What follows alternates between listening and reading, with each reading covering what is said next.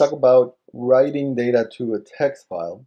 So in Java, when you're writing and reading data from either a text file or the keyboard or USB port or another computer in the internet, you're going to use the stream. You're going to use streams, right? So it's a stream metaphor.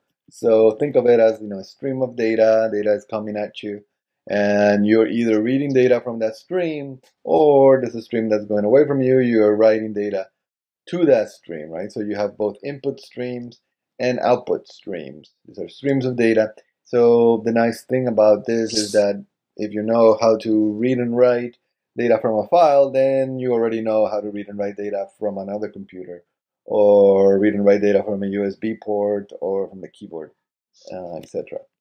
So right now we're going to be writing to a file. So the first thing I need is a file name. I'm going to call it out.txt.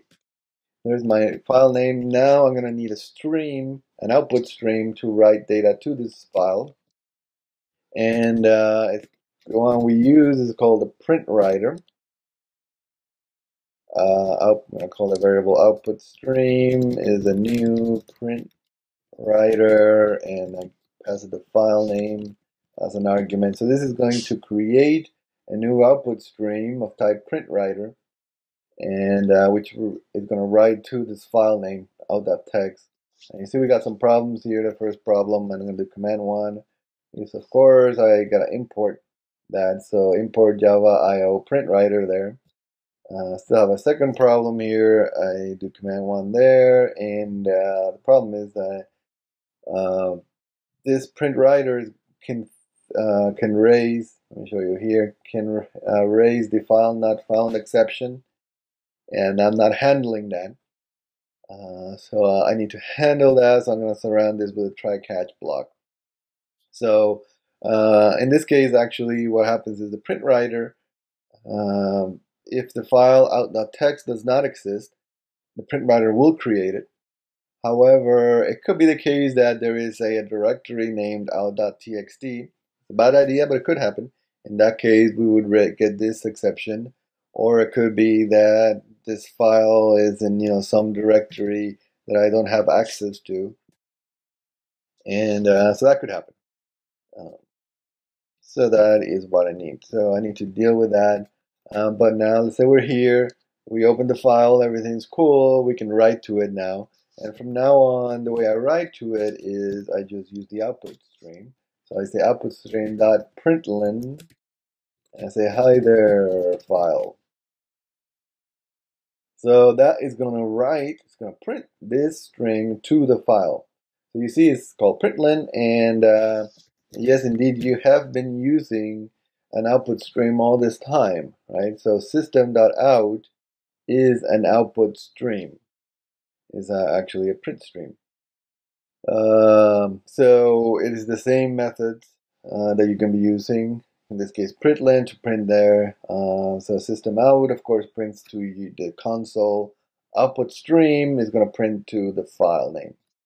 So I'm going to put done here so I know that my program runs. I'm going to run this program It says done, I'm done. And then if I go to my finder here, I can see that it did indeed create this file called out.txt. And uh, I can open that file. You see there's going to be a problem here. The, si the size of the file is zero bytes. That doesn't look good. I open it and indeed it is empty. Let's close it. And what happened? Well, what happened is that print writer, the way print writer, print PrintWriter works is it stores information in the RAM. So whenever you do a println, it's going to store that information in RAM and uh, in the RAM first. And that information only gets pushed to the file every so often, you know, every time it gets full. Uh, so that means that you know we put this in RAM, then the program was done, and the data never got to the file. So what you have to do, you always have to remember to do, is close the stream. So when you close the stream, uh, this will actually also you know closes the stream, so that means you cannot write to it after this. So I can't write any more to it. That will be bad, and you will get an error. Uh, but also flushes. So flushes the data, the data to the file. So all the data gets flushed from the stream to the file. Uh, if you wanted to we just do a flush without and keep writing, uh, you could do a flush, right? Uh, and then keep writing. So that's the method for that. We're not going to do that because we actually want the file closed. And uh, let's run this.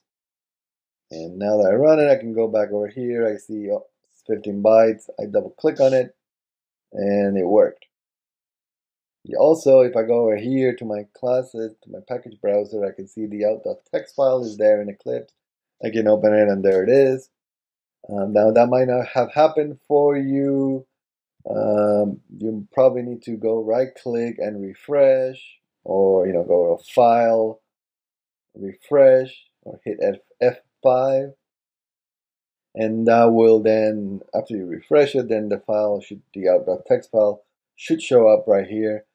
Uh, if you get tired of hitting F5 you can change it to do like mine does. Is uh, you go to Eclipse preferences look for refresh then hit workspace and make sure you have these two guys checked here. So what these two do is basically automatically refresh your workspace uh, whenever something happens um, which is what we did, and there it is. So there you go. We are writing to the file. We don't have to just write that stuff. We can write, you know, whatever we want. Let's write something more interesting. Uh, for in row goes from zero, row less than 64, row plus plus, and uh, for int column equals 0, column less than 64, column plus plus. So I'm going to write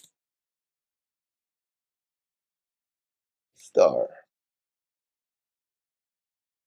And uh, so, you know, I have 64 rows, 64 columns, and each column is a star. At the end of the column, I'm going to need to write a new line so I can get to the next line. I'm just going to write the empty string with a print println that's going to generate a new line. And close it. I'm going to run this. And then now you see I got 64 rows, 64 stars. Nice. Go back here. I can um, change this around a little bit. Let's say if row is even, then I want to print this out, else it's going to be odd, and let's say I want to print a space out in that case, save, run, check it out. So now I have every other row. I can change that to the column. Look like that. I can now, oops, I can then, you know, do play around with this. This is fun. Right? Try to see if we can generate some interesting pattern. Row plus column mod 2. What's that going to do? Uh, moves everything to the right. Uh, multiplication. Gets us that.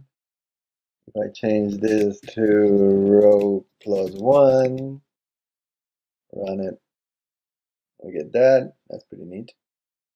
Um, so fun with programming, right? Uh, oh, you should play around with that. So you see, we have just, just a for loop generating data. The data is getting written uh, to the file. We just have to make sure we close it at the end so everything gets uh, written, and then we can open it. Uh, and that's